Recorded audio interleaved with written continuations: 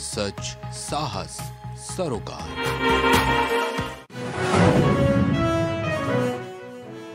चार हज़ार से अधिक मदरसों पर होगी कानूनी कार्रवाई। पिछले साल सर्वे में 8,441 मदरसे मिले थे अवैध। विदेशी फंडिंग वाले मदरसों पर होगी कार्रवाई। लॉरेंस बिश्नोई गैंग का यूपी कनेक्शन। एनआईए ने लखनऊ समेत पाँच शहरों में की छापेमारी। लॉरेंस गैंग अब यूपी में कर रहा ड्रग सप्लाई।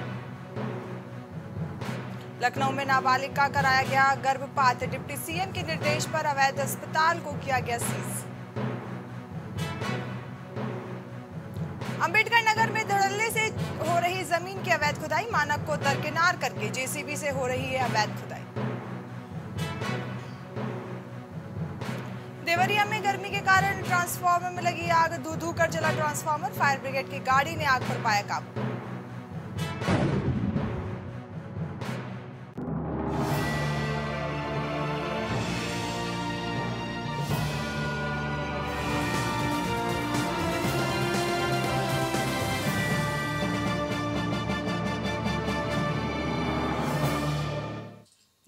नमस्कार, मैं हूँ आपके साथ ईशा भार्गव। स्वागत है आपका प्राइम उत्तर प्रदेश में। तो रुक करते हैं उत्तर प्रदेश की बड़ी खबरों की ओर।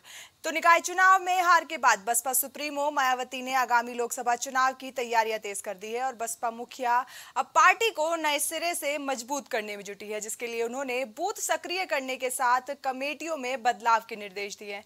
बताया जा रहा है कि यूपी नगर निकाय चुनाव में विपक्ष को तगड़ा झटका लगा है, जहाँ भाजपा ने सभी नगर निगम के सत्रह सीटों पर जीत का परचम लहराया है और इस चुनाव के परिणामों को आगामी लोकसभा चुनाव के लिए सेमीफाइनल के तौर पर देखा जा रहा है। वहीं बसपा मुखिया मायावती ने हार के बाद चिंतन की है और मायावती अब पार्टी में बड़े बदलाव की तैयारी में है।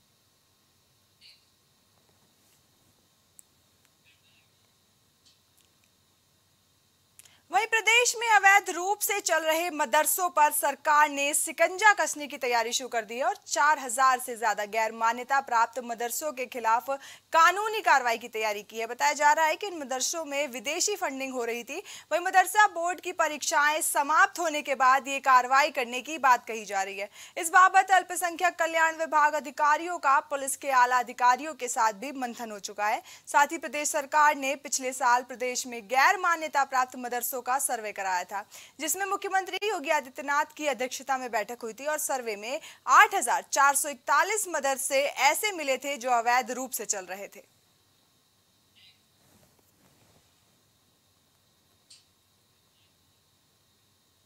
वहीं कांग्रेस नेता राहुल गांधी को जान से मारने की धमकी का केस दर्ज हुआ है। कांग्रेस नेता समेत कांग्रेस मीडिया संयोजक लल्लन कुमार को भी ये धमकी मिली है। बता दें कि 25 मार्च की शाम को फ़ोन पर कांग्रेस नेता राहुल गांधी को धमकी दी गई थी। फ़ोन करने वाले युवक ने गोरखपुर निवासी मनोज राय के रूप में खुद की पहचान बताई थी।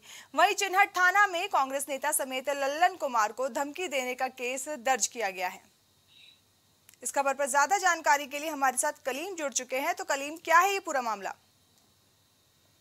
जिस तरीके से जो कांग्रेस के मीडिया प्रभारी हैं ललन कुमार इनके द्वारा एक शिकायती पत्र दिया गया था सिरहट थाने में पच्चीस मार्च को, जिसमें उनके द्वारा आरोप लगाया गया था कि एक अनजान नंबर से उनके पास कॉल आई है, जिसमें कहा गया है कि उनको और जो राहुल गांधी है, कांग्रेस के जो शीर्ष नेता उनकी जान उनकी जो है हत्या कर दी जाएगी। इस हत्या को लेकर के जो है, लगातार जो है ललन ने इस मामले को लेकर के शिकायत करने पहुँचे थे। इस मामले को लेकर के संसद तक की हो गए थे।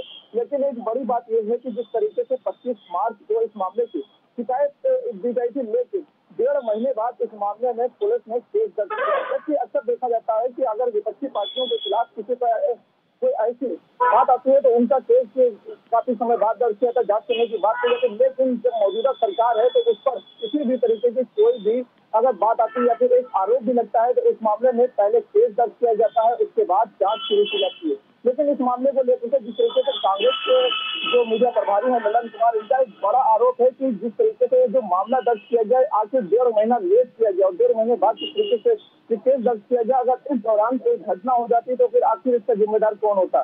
क्योंकि एक बड़ी बात है कि जो शीर्ष नेता राहुल गांधी को अपने आप में एक बड़े नेता है और जो कि सिर्फ़ कांग्रेस के की बागडोर भी उनके हाथ में देखी गई है। तो ज़ाहिर की बात है कि इस तरह की जो जो धमकियाँ मिली हैं उन धमकियों को लेकर के पुलिस को काफ़ी पहले ही एक्टिव होना चाहिए और संज्ञान भी लेना चाहिए। लेकिन बड़ी बात यह है कि जिस अनजान नंबर से कॉल करने की बात की जा रही थी, उसकी जाँच के दौरान क्या अभी तक आरोपी की गिरफ्तारी हुई, लेकिन नहीं हुई। क्योंकि इसलिए नहीं हुई, क्योंकि अभी तक उस आरोपी तक पुलिस पहुँची ही नहीं है और सर्विलांस की जो मदद की बात की जा रही है, क्या सर्विलांस टीम अभी इस मामले में शुरू रही है क्या वजह रही है, इसका अभी पुलिस की तरफ़ से कोई भी प्रतिक्रिया नहीं आई है। लेकिन दावा किया जा रहा है कि इस मामले में तफ्तीश की जा रही है, तफ्तीश में जो साक्ष्य सामने आएँगे, उसके बाद कार्रवाई भी की जाएगी। इसी मामले को लेकर जो कांग्रेस के नेता है डेढ़ महीने बाद इस मामले में अब केस दर्ज किया गया है डेढ़ महीने बाद। अब इस मामले में केस दर्ज हुआ है तो अभी तक क्यों नहीं इस पर कोई कार्रवाई की गई?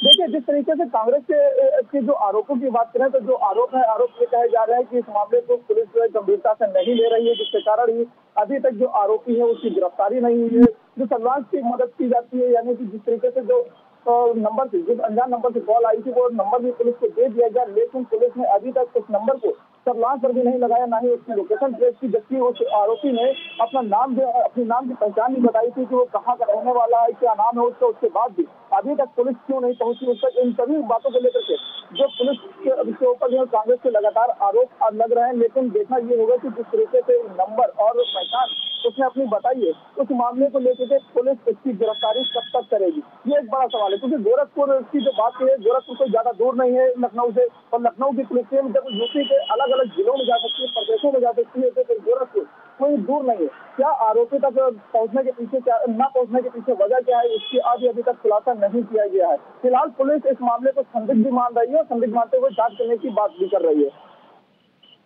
राहुल गांधी जैसे बड़े नेता पर अगर सुरक्षा का इतना बड़ा सवाल उठ रहा है तो कैसे लोग प्रशासन पर विश्वास करेंगे? अगर राहुल गांधी जैसे बड़े नेता की सुरक्षा सवाल में है। देखिए ऐसा भी साफ़ है कि जिस तरीके से राहुल गांधी को लेकर के बड़ी बात कही गई है, धमकी दी गई है तो इस मामले को पुलिस को गंभीरता से लेना चाहिए। क्योंकि राहुल गांधी अपने आप से बड़े नेता कहे जाते हैं, क्योंकि अभी जैसा कि आपको मालूम है, उन्होंने जिस तरीके भारत जो यात्रा शुरू की थी और लगातार ये सुर्खियों में भी बने हुए हैं। तो कहीं ना कहीं एक तरीके से बात यह है कि उनकी सुरक्षा पर इंतज़ाम करना चाहिए और जो आरोपी के द्वारा खुलकर धमकी दी गई, अपनी पहचान बताई गई और जो नंबर है तो उस आरोपी तक पहुँचना चाहिए और धमकी के पीछे वजह क्या रही है? उसकी भी जाँच करनी चाहिए और आरोपी तक पुलिस पहुँच सके कम से कम इस राज का पर्दा भी फाश करना चाहिए कि आखिर इसके पीछे कारण क्या है और पुलिस आखिर क्यों नहीं पहुँच रही? आखिर पुलिस का जो दुलमुल रवैया है, आखिर उसके पीछे कारण क्या है? इन सभी को बातों को लेकर के जो आरोप है, उन आरोपों को भी सही कहा जा सकता है वो इसलिए कहा जा सकता है क्योंकि पुलिस की जो कार्यशैली है, उस पर भी सवाल उठ रहा है। क्योंकि डेढ़ महीने बाद मुकदमा दर्ज हुआ डेढ़ महीने तक आरोपी अभी पुलिस की गिरफ्त से दूर है। जी तो जैसा कि कलीम आपने कहा कि जो आरोपी है अभी तक पुलिस की गिरफ्त से दूर है, अब क्या कुछ आगे कार्रवाई करेगी पुलिस, ये देखने वाली बात होगी इस खबर पर जुड़ने के लिए धन्यवाद कलीम।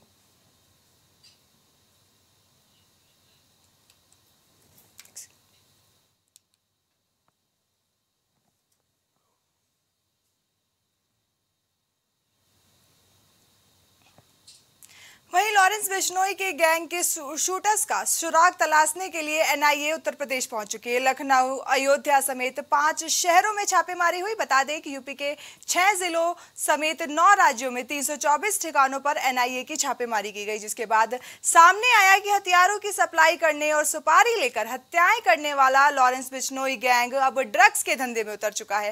वेस्ट यूपी से लेकर पूर्वांचल तक किराए के शूटर्स का बड़ा नेटवर्क खड़ा किया गया है। पिछले दिनों एनआईए ने खुर्जा अमेठी, लखनऊ, अयोध्या, सुल्तानपुर, मेरठ और बागपत में लॉरेंस बिश्नोई से जुड़े गैंगस्टर के यहाँ छापेमारी की थी। इसमें अयोध्या का विकास सिंह का नाम सबसे ज़्यादा चर्चा में रहा। इसकी तलाशी एनआईए की एक टीम, उसके लखनऊ गोमती नगर विस्तार स्थित फ्लैट में छापेमारी की गई है। इस खबर पर ज़्यादा जानकारी के लिए हमारे साथ कलीम जुड़ चुके हैं। तो कलीम, क्या है पूरा मामला?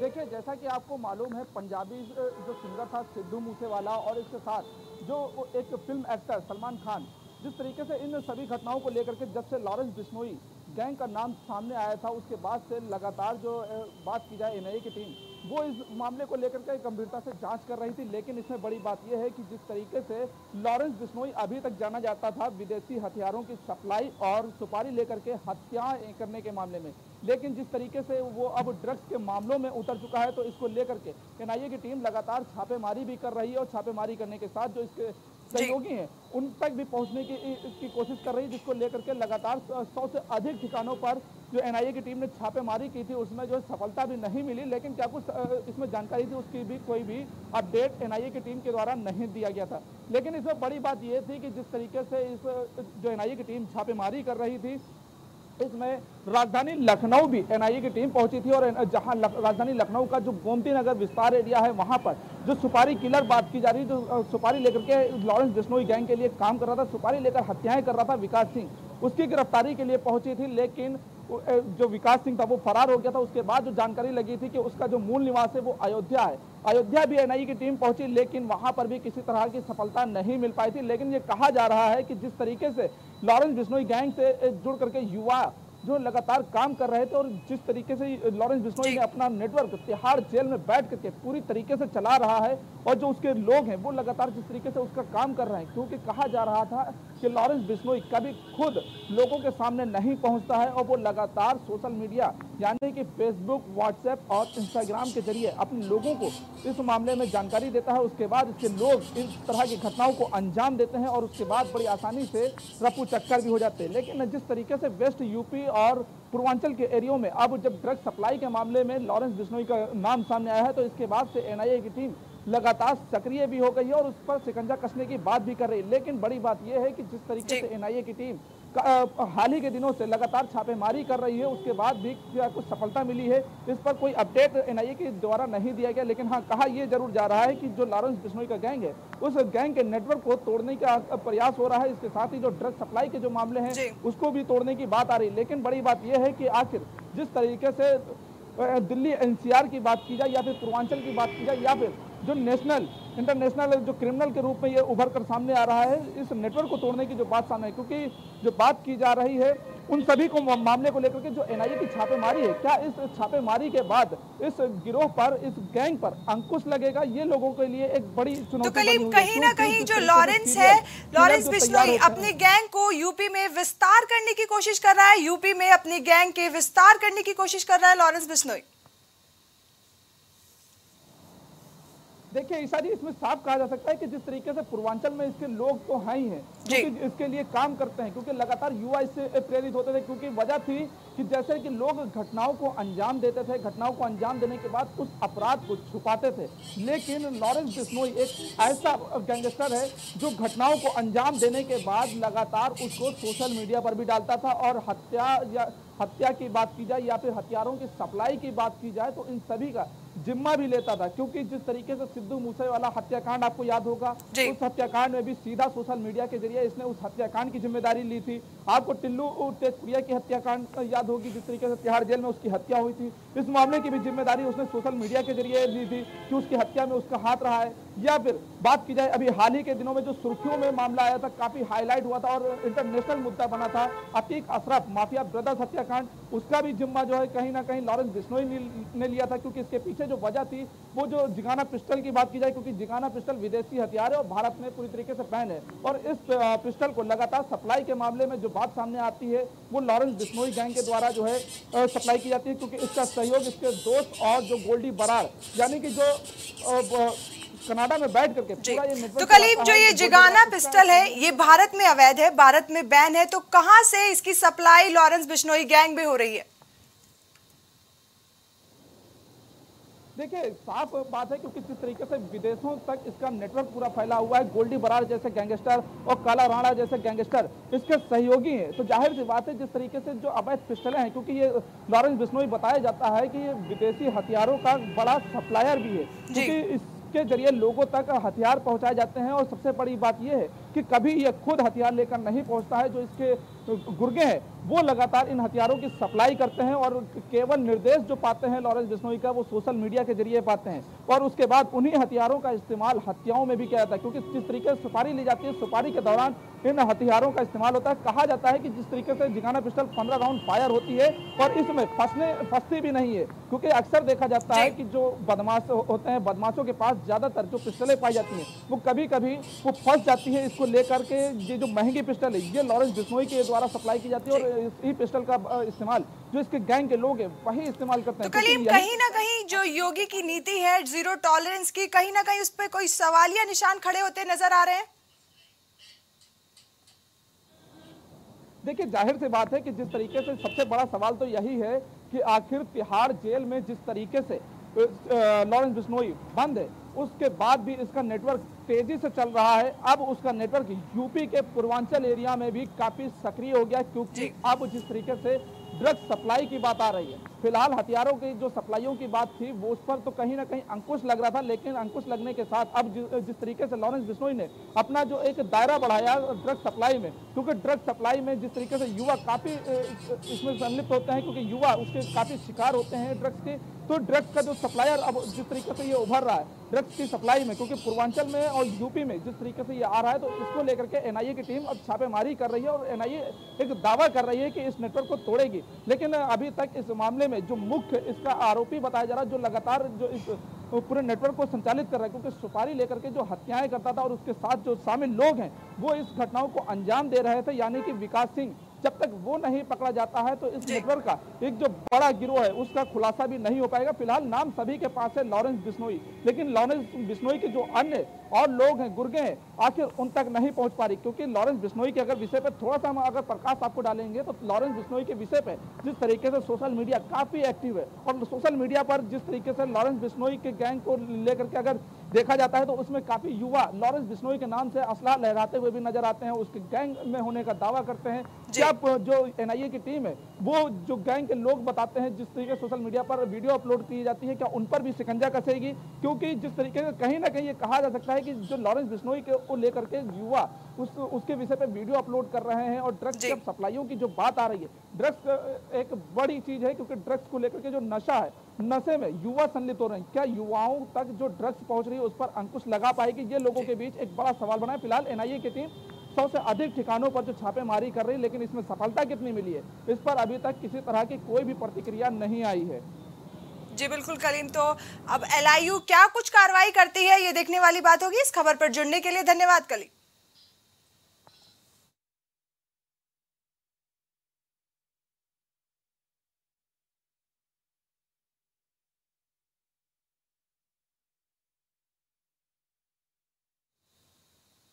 वहीं लखनऊ में अवैध एक्सचेंज चलाने वालों को एटीएस अब रिमांड पर लेगा। वहीं यूपी एटीएस की टीम ने दो लोगों को गिरफ़्तार किया है। बता दें कि कानपुर में तीन जगहों पर अवैध टेलीफोन एक्सचेंज चलाने के आरोप में गिरफ़्तार शाहिद जमाल और मिर्ज़ा असद को एटीएस रिमांड पर लेगा। वहीं गिरोह के मास्टरमाइंड मुंबई निवासी नाजिम नसीम खान उर्फ़ नाजिम पटेल को गिरफ़्तार करने के लिए एटीएस मुंबई पुलिस का सहयोग भी ले रही है। साथ ही शहीद, शाहिद और असद को मिस मुहिया कराने का, कराने वाले कानपुर के जीटी रोड निवासी मनीष शर्मा और पटना के रवि कुमार की तलाश भी जारी है। इस खबर पर ज़्यादा जानकारी के लिए हमारे साथ सागर जुड़ चुके हैं। तो सागर, ये एटीएस ने दो आरोपियों को गिरफ़्तार किया है। क्या कुछ है पूरा मामला? जी, कुल मिला के ईशा बता दूँ कि इससे पहले भी जो एटीएस है और जो एसटीएफ है, वो तमाम यूपी के तमाम जिलों में छापेमारी कर चुकी है। वहीं अवैध एक्सचेंज चलाने वालों को रिमांड पर एटीएस लेगा। और छापे में मिले अधिकतम सिम बॉक्स बिना मेक मॉडल और सीरियल नंबर वाले थे, जिनको एटीएस ने गिरफ़्तार मतलब अपने हिरासत में लिया। वहीं कानपुर में तीन जगहों पर अवैध टेलीफोन एक्सचेंज चलाने के आरोप में गिरफ़्तार शाहिद जमाल और मिर्ज़ा असद को भी एटीएस ने रिमांड पर ले चुकी है। फ़िलहाल वहीं गिरोह के मास्टरमाइंड मुंबई निवासी नाजिम नसीम खान उर्फ़ नाजिम पटेल को गिरफ़्तार करने के लिए एटीएस मुंबई लगातार पुलिस का सहयोग भी ले रही है और जिसके बाद, जिसको लेकर उस पुलिस जो है एटीएस के साथ कई यूपी के तमाम जगहों पर छापेमारी भी करी। वहीं एटीएस ने नाजिम को भी मुकदमे में नामजद किया। वहीं साहिद और असद को सिम मुहैया कराने वाले कानपुर के जीटी रोड निवासी मनीष शर्मा और पटना के रवि कुमार की तलाश भी फ़िलहाल जारी और एटीएस का बहुत बड़ा ऑपरेशन ये साबित किया, साबित हो रहा है और बहुत जल्द मुझे लगता है कि शायद एटीएस को बहुत बड़ी सफलता मिल पाए। जी। तो सागर अभी तक इस मामले में किन किन लोगों की गिरफ्तारी हो सकती है और? जी आपको बता दूँ कि मनीष शर्मा जो है और जीटी रोड का निवासी है कानपुर का और वहीं पटना के रवि कुमार की तलाश लगातार जारी कर रही है और एसटीएफ लगातार छापेमारी कर रही है। यूपी के तमाम जिलों से लेकर पटना तक अभी तक एटीएस और एसटीएफ जो तमाम जो जाँच एजेंसी है वो छापेमारी के दौर दौरान फ़िलहाल उनको अभी ऐसे कुछ तथ्य नहीं मिले हैं कि वो ज़रूरत के तौर पर उन तक पहुँच पाए। फ़िलहाल मनीष शर्मा और पटना के रवि कुमार की तलाश अभी जारी और शायद लगता है कि बहुत जल्दी सफलता मिलने वाली है। जी। खबर पर ज़्यादा जानकारी के लिए धन्यवाद, सागर।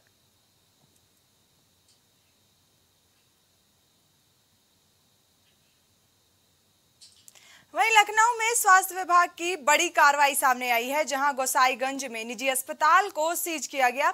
बता दें कि गोसाईगंज के अमेठी में किशोरी का गर्भपात कराने वाले निजी अस्पताल को सीएचसी अधीक्षक डॉक्टर विनय मिश्रा के नेतृत्व में पहुँची स्वास्थ्य विभाग और पुलिस की टीम ने सील कर दिया है। बता दें कि डिप्टी सीएम ब्रजेश पाठक ने अस्पताल में नाबालिग का गर्भपात कराए जाने के मामले में संज्ञान लेकर बड़ी कार्रवाई का आदेश दिया था, जिसके बाद स्वास्थ्य विभाग ने कार्रवाई करते हुए अस्पताल को सील कर दिया। दिया है। इस खबर पर ज़्यादा जानकारी के लिए हमारे साथ मोहम्मद ओवैस जुड़ चुके हैं। तो ओवैस, आए दिन ऐसे मामले सामने आते रहते हैं, कहीं जहाँ पर अस्पताल की बड़ी लापरवाही सामने आती है। जी देखिए, बिल्कुल आपको बता दें कि ये गोसाईगंज के अमेठी का मामला था और अमेठी में यहाँ अस्पताल में गर्भपात कराया गया, जिसको लेकर जो है ब्रजेश पाठक ने संज्ञान में लिया था। संज्ञान में लेने के बाद जो है, इस अस्पताल को सीज कर दिया गया है। तुरंत तत्काल कार्रवाई करते हुए और यहाँ पे जो मामला था चार साल की बच्ची के साथ जो है, ये गर्भपात का मामला सामने आया था। जैसे ही उप मुख्यमंत्री ब्रजेश पाठक को इस बात का पता चला, उन्हीं ने तुरंत संज्ञान में लेते हुए कार्रवाई की। कार्रवाई के बाद इस अस्पताल को स्वास्थ्य विभाग की टीम ने सील किया है। जी।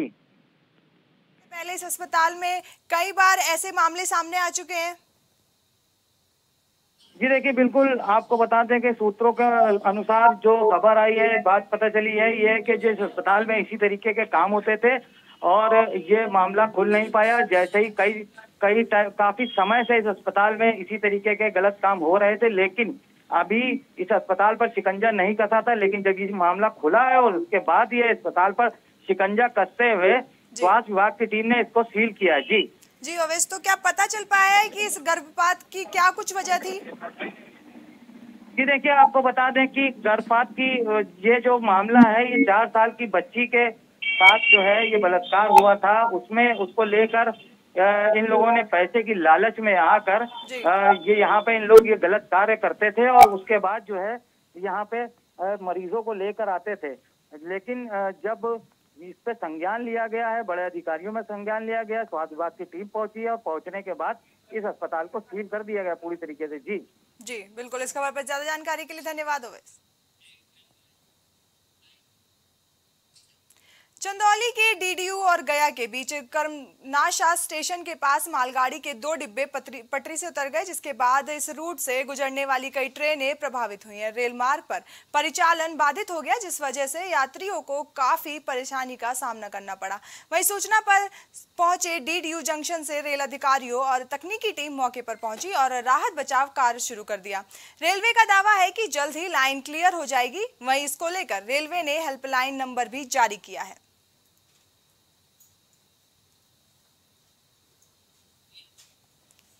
इस खबर पर ज़्यादा जानकारी के लिए हमारे साथ अजीत जुड़ चुके हैं। तो अजीत, क्या है पूरा मामला? जी, हम आपको बता दें कि रेलवे मंडल के कर्मनासा स्टेशन के समीप दो मालगाड़ी के डब्बे बेपटरी हो गए। हालाँकि इस, जब ये रेलवे मंडल को पता चला तो तत्कालीन बाधित कर दिए गए। लगभग आधा घंटा तक आवागमन बाधित रहा। फिर मौके पर रेलवे सभी कर्मचारी वहाँ पर पहुँच कर पहुँच कर जीसीबी की मदद से डब्बे को हटाया गया और फिर से आवागमन चालू किया गया। जी। अब ये जो राहत बचाव कार्य है ये क्या समाप्त हो गया है? इस समय राहत बचाव कार्य पूरी समाप्त हो गई है फिर से चालू हो गया फिर से आवागमन चालू हो गया रेलवे आ रही है और जा रही है अब कोई दिक्कत नहीं है। जी। खबर पर ज़्यादा जानकारी के लिए धन्यवाद अजीत। वहीं कासगंज के पटियाली क्षेत्र के श्री नगला गाँव में एक युवती और एक युवक की मौत हो गई। वहीं घटना की सूचना पर पुलिस ने मौके पर पहुंचकर दोनों शवों को कब्जे में लेकर पोस्टमार्टम के लिए भेज दिया। वहीं मौके पर आला अधिकारी का आना जाना लगा हुआ है।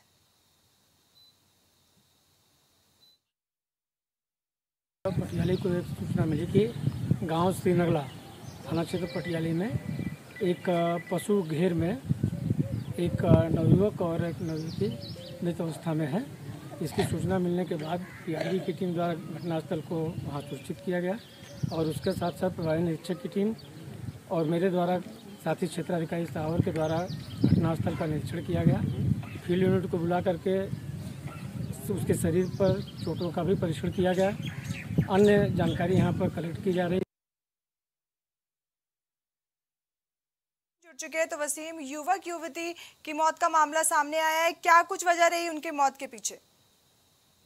देखिए मैडम ये मामला जो है जनपद कासर के पटियाली क्षेत्र के गाँव दरियागंज का मामला है। जब लगभग सुबह जो है इसके परिजन जो है हेलो? जी। जी धन्यवाद इस खबर पर जुड़ने के लिए वैसे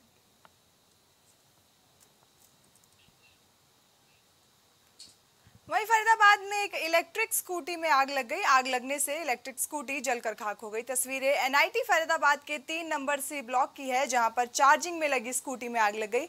बता दें कि घटना के समय घर में कोई नहीं था। आग लगने की सूचना मिलने के बाद मकान मालिक घर पहुँचा।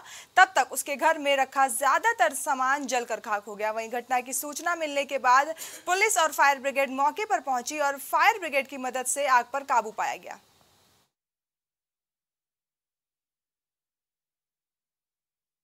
आधा पौना घंटे पहले जी घर से निकले थे बैटरी वाली स्कूटी चार्जिंग पे लगा के। जी। आज थोड़ी देर बाद जी फ़ोन आया घर में आग लगी कोई हमारा कुछ जल वल नहीं रहा था। मम्मी मेरे साथ थी पापा मेरे घर पे है बेड रेस्ट पे अनुमान यही है जी बैटरी वाली स्कूटी ब्लास्ट वैसे तो किसी को है छोट मोटी किसी तो आप सारे किराएदार भी रहते हैं आपके। हाँ बचा हूँ सब बच गए। रही रही दोनों साइड से फैल रही एक साइड लगा दी एक साइड हमने और पाइप लगा दिया हाथ को कंट्रोल कंट्रोल करने में कितना टाइम लग गया आपको? टाइम लग जाएगा पंद्रह बीस मिनट तो आराम से। पंद्रह बीस मिनट लग गए थे। तो अभी तक किसी को नुकसान तो नहीं हुआ? कोई नुकसान नहीं है माल का तो नुकसान है ही जान का कोई नुकसान नहीं। सामान कितना तक जल गया होगा अंदर? देखो जी अंदाज़ा क्या कह सकते हैं जरे उसमें। वो तो मालिक बताए नंबर है ना सी ब्लॉक है।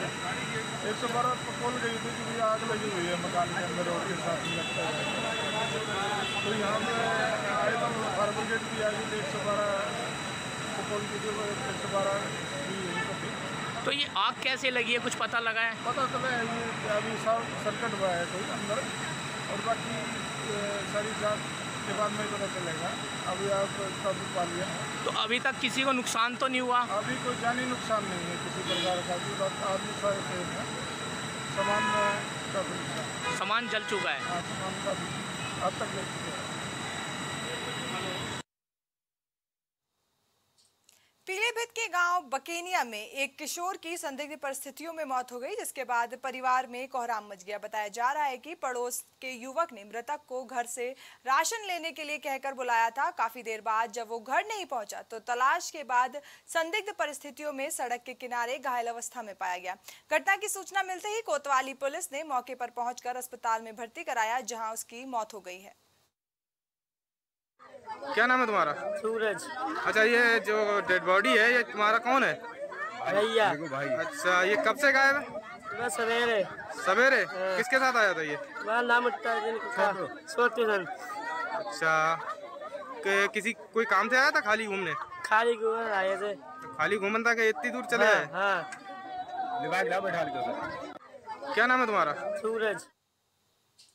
वहीं अगली खबर, अयोध्या से है जहाँ भव्य राम मंदिर निर्माण कार्य और उसकी देखरेख में जुटे श्री राम जन्मभूमि तीर्थ क्षेत्र ट्रस्ट के दफ्तर का भी निर्माण हो गया है। ये दफ्तर रामकोट में बनकर तैयार हो गया है, जिसका आज उद्घाटन होगा।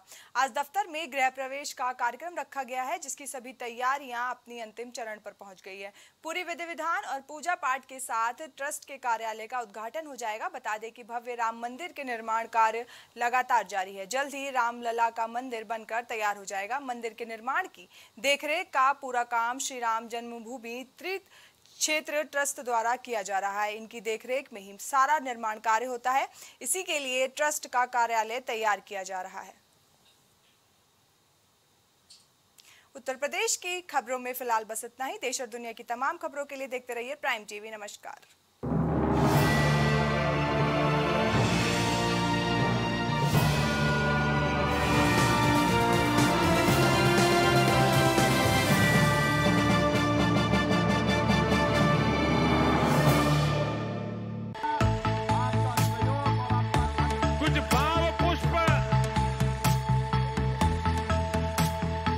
आप देख रहे हैं प्राइम टीवी सच साहस सरोकार